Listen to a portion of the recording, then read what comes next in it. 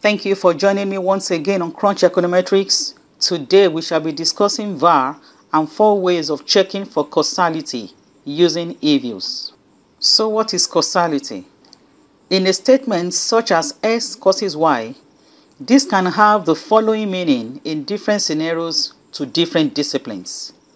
Meanings such as X leads Y, or X is the only cause of Y, X is one of the possible causes of Y, X must always lead to Y, that is, X determines Y. You can also say that the occurrence of X makes the occurrence of Y more probable. That is, X is a probabilistic cause of Y. X must occur either before or simultaneously with Y, but not afterwards. You are simply saying that the future of X cannot predict the past. So X must always occur before Y. Then the past values of X forecast future values of Y. So these are the different interpretations of causality in different scenarios and in different disciplines. So now let's talk about causality in time series analysis. We know that regression analysis deals with the dependence of one variable on other variables, but that does not necessarily imply causation.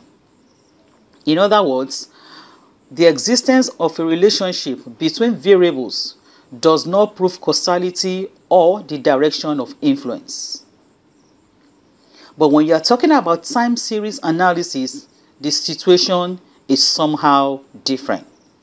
Still talking about time series analysis, a statistical relationship in itself cannot logically imply causation. But you can imply causation by subjecting that series to several tests. That is what that statement means. Also, to ascribe causality, one must appeal to either a priori expectation or theoretical consideration. This is that in regression modeling, the underlying theory will indicate the direction of causality between y and x, which in the context of a single equation model is generally from x to y, x being the regressor, the independent variable, or the explanatory variable, and y being the regressant, the dependent variable, and the variable being explained. Like I said previously, the future of x cannot predict the past value of y. So it's always the reverse. So the past values of x will be the one to forecast or predict future values of y. So now let's take a look at some prerequisites that must be in place before you can engage causality checks in VAR. Number one, the series must be stationary. That is, they must be integrated of the same order. Number two, you must know that when you are doing causality checks, the number of lags you are going to use in your model must be those lags determined by the information criterion. What does that mean? It means that the model is sensitive to the number of lags that you are going to use. The error terms entering that model or that you are going to use in the causality test must not be correlated. Then, if you are proceeding to establish a vector autoregression model, then there must be evidence of cointegration. Even though cointegration indicates the presence of Granger causality in at least one direction, it does not indicate the direction of causality between variables. So after doing cointegration, it gives you an idea that there's causality in this model, but it does not tell you between the variables where the direction of causality is. Also, the direction of Granger causality in this case will be detected through the error correction mechanism that you have derived from the long-run cointegrating vectors. Please note that talking about cointegration is just by way of information. Cointegration is not required if you are just doing an unrestricted VAR. That's the short-run model. But I'm only discussing it just for you to know by way of information, okay? So cointegration is not a requirement when you are just doing the unrestricted VAR, which is a short-run model. So on the screen is a specification of a three variable VAR system where I have log of PCE, PDI, and GDP. And you can see the model neatly spelled out indicating the respective lags for each of the variables in the model. Again, remember, in the VAR system, there are no exogenous variables. All the variables in the VAR system are all endogenous. All the variables are all endogenous. Now let's take a look at the model characteristics which I've explained below.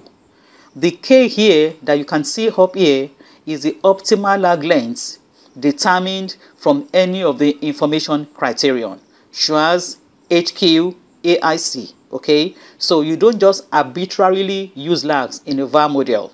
You must pick your lags from either of these um, information criterion. I have several videos on optimal lag selection. Please, I will advise you to watch them. Then the alpha, uh, sigma, and delta signs here, these are just the intercepts of each of these equations.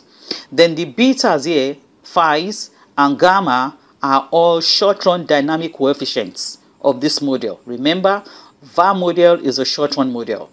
So beta, phi, and um, gamma are all short-run coefficients, while the UIs are all the error terms which must not be correlated with one another.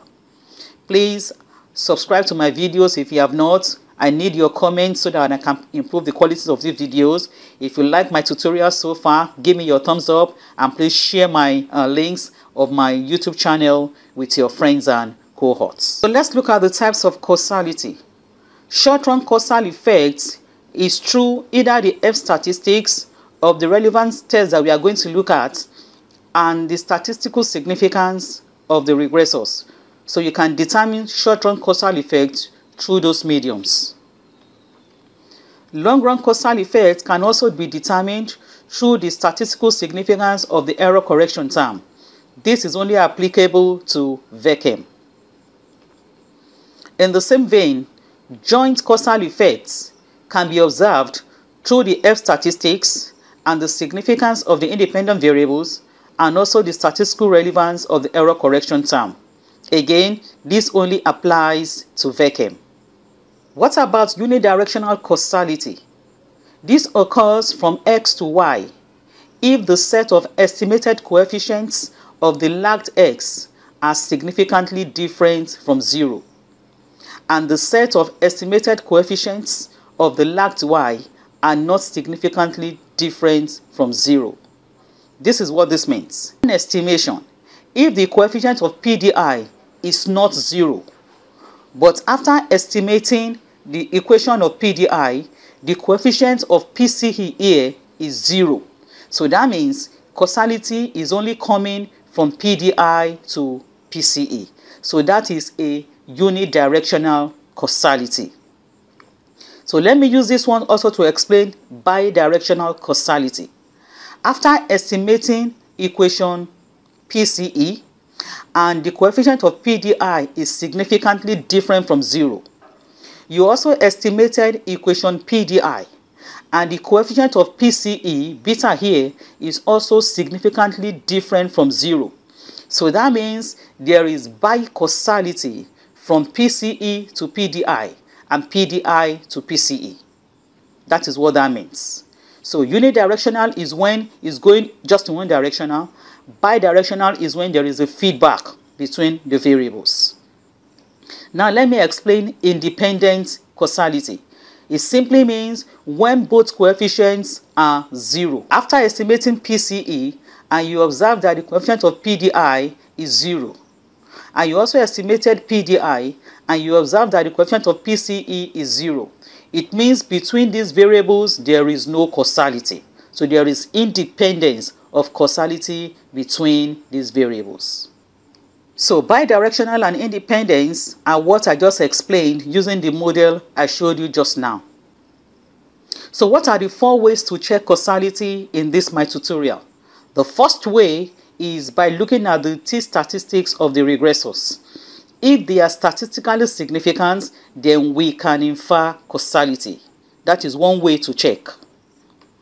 The second way to check is by testing with the Granger World Causality Test in the eViews interface. And what does this test do it tests the joint relevance of the lagged explanatory variables or the lagged coefficients. And this is the null stated here, and here is the alternative. And what will be your decision criteria? You reject the null if the probability value of the chi-square statistic is lower than 0.05. Third way to check is through the Wald coefficient test. And the Wald coefficient test is simply telling you that these coefficients in this model are equal to zero, meaning they cannot cause a change in the dependent variable. And what will be your decision criteria?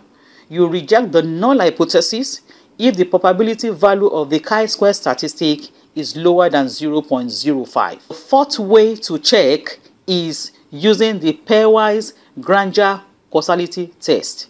What this test does is to give you the direction of causality. The null hypothesis is that there is no Granger causality against the alternative that the null hypothesis is not true. And what will be your decision criteria? You reject the null hypothesis if the probability value of the F statistic is lower than 0.05. So these are the four ways I'm going to put you through to check for causality in your model, if that is the way you are going in your research or in that paper that you are writing. What are the step-by-step -step procedures in EViews? Number one, you have to specify the model, engage stationarity test, make sure that all your series are integrated of the same order, determine the optimal lags using the information criterion, estimate the unrestricted var. Now go ahead to perform your causality test using the various ways I just explained. Now, for anyone to take our results with any uh, pinch of seriousness, we have to perform some diagnostics, as you can see on the screen. So stay with me, don't go away. Make sure you subscribe to my channel. Give me your comments. Like i said before i enjoy your feedback. I want to improve the quality of this video. Give me a thumbs up if you like my tutorial so far and please share my link among with your friends and your colleagues. I will conclude by saying that the t statistics of the explanatory variable will indicate short-run causal effect the f statistics and chi-square statistics from Granger and Wald test will also indicate short-run causal effects since we are only discussing VAR in this tutorial. And remember that each of these causality tests or checks can serve as robustness or evidence of validation for one another.